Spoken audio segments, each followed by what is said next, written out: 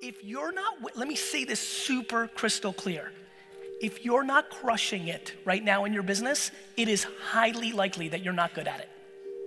You might have just started last week, so like, you know, you haven't had enough time. On some real shit, because I know hands are not gonna wanna go up as much right now. How many people here have been doing their business for three years? Raise your hands. Raise them high. Own it. I'm telling you, if it's not crushing, you got a problem. And that's okay. There's a, I have friends in Silicon, like in 2006, that I was like, you know, this is when I was coming up, and I was like, I don't think you're good. Shut down their company, became the seventh employee at Tumblr, and made fucking $12 million. This is self awareness. This is self awareness. You have to be honest with yourself because if you're incapable of that, you have no prayer of happiness. And being honest with yourself is hard.